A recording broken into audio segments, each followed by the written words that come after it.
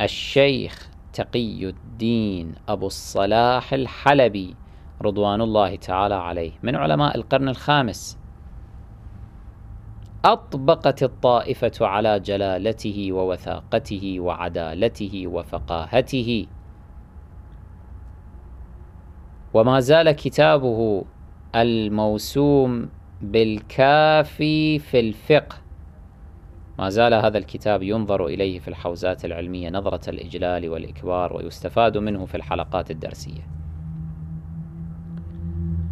هذا الرجل العظيم ألف كتابا بحمد الله ما زال بأيدينا ما زال إلى اليوم بأيدينا.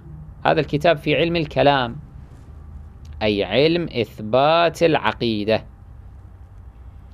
اسم الكتاب تقريب المعارف. في هذا الكتاب فصل كامل في فضح أبي بكر وعمر وعثمان وعائشة ومن أشبه. فضحهم بكل صراحة.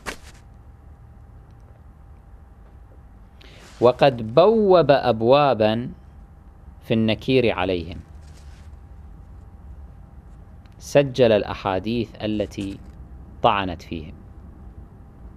أحاديث كثيرة.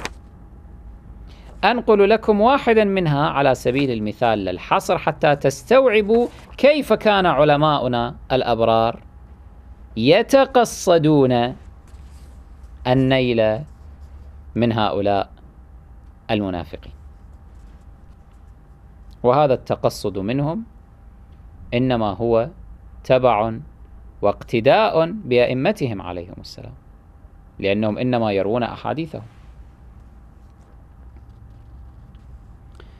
روى عن الأصبغ بن نباتة أو نباتة وعن رشيد الهجري وعن أبي كدينة أو كدينة الأسدي وغيرهم من أصحاب علي عليه السلام بأسانيد مختلفة كما هو عبر أبو الصلاح الحلبي.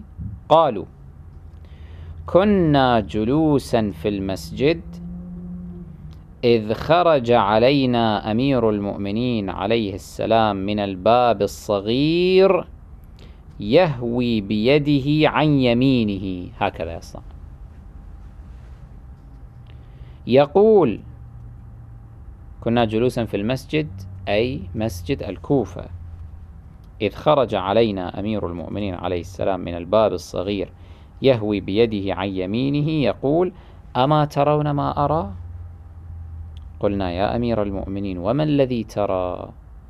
قال أرى أبا بكر عتيقا لأن اسم أبي بكر هو عتيق. أرى أبا بكر عتيقا في النار يشير إلي بيده يقول استغفر لي. لا غفر الله له. هذا كلام أمير المؤمنين عليه السلام. الذي رواه شيخنا أبو الصلاح الحلبي رضوان الله تعالى عليه في تقريب المعارف بهذه الصراحة. يعني لم يحذف اسم أبي بكر ووضع مكانه مثلا رمزا كفلان مثلا. لا. وأمير المؤمنين عليه السلام هكذا طعن في أبي بكر وبين أنه في النار وأنه يسأله الاستغفار وهو يرد قائلا لا غفر الله له.